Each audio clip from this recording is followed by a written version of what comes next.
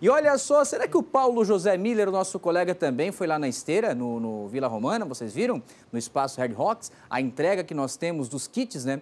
Do Jurerê Night Ram, que acontece agora, e uma ação solidária com o desafio de percorrer, gente, 204 quilômetros na esteira em 10 horas. O Paulo Miller foi para a esteira também, será?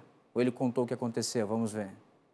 A entrega dos kits já está sendo feita aqui no Red Rock, né, que fica no shopping é, Vila Romana. Então, até as 10 horas da noite de hoje, dá para pegar todos os kits aqui. Ó. Só chegar aqui certinho com a inscrição, com o documento, que pode fazer a retirada. Já amanhã, no sábado, que é o dia da prova, a entrega dos kits é até as 3 horas da tarde. Então, não dá para perder o horário. Além, claro, do pessoal que vai correr amanhã, tem uma ação solidária muito bacana acontecendo por aqui. Eu pedi para o Vitor mostrar para a gente, ó, que aquele pessoal lá, ó, que está nessas esteiras aí, ó, pessoal também está suando a camisa aqui, mas é por uma boa causa, viu? Isso porque a organização da prova está fazendo uma ação para arrecadar kits é, de material escolar para uma entidade e por uma causa que, olha, é uma causa muito nobre. Por isso está aqui comigo o Júnior, organizador da prova, né, Júnior? Um trabalho lindo que o Instituto Pro Autismo faz. Então, a Jurerê Night Run Hard Rock chama de braços abertos a um desafio. 204K em 10 horas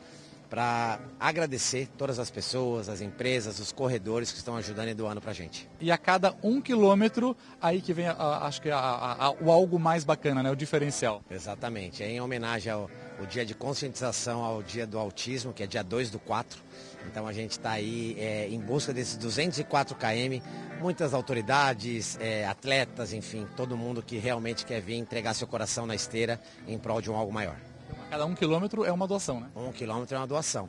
E vamos tentar dobrar. É 204 km, mas traz a sua doação que com certeza vai ser de muito bom grado.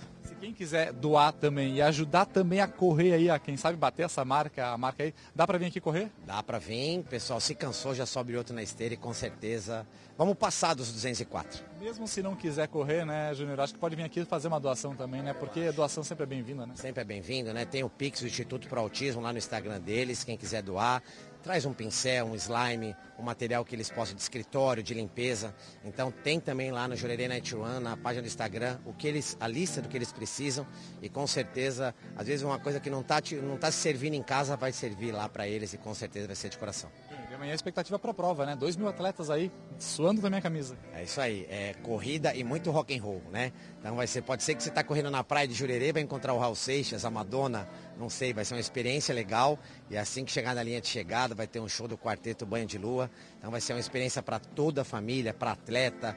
Eu acho que a saúde ela engrandece, né? Então a gente tem que buscar, a gente vem de vários momentos difíceis, então hoje eu acho que a gente poder entregar a saúde com alegria, com entretenimento, com cultura, eu acho que é uma combinação perfeita. Perfeito. Obrigado pelas informações. E o sucesso amanhã e sucesso aí para bater a meta, a meta aí. Mais uma vez agradeço o espaço e com certeza vem doar. Só lembrando, né? Retirada dos kits amanhã até as 3 horas da tarde. E esse pessoal, ó, suando a camisa hoje até as 10 horas da noite, bater essa meta aí e arrecadar muitos donativos.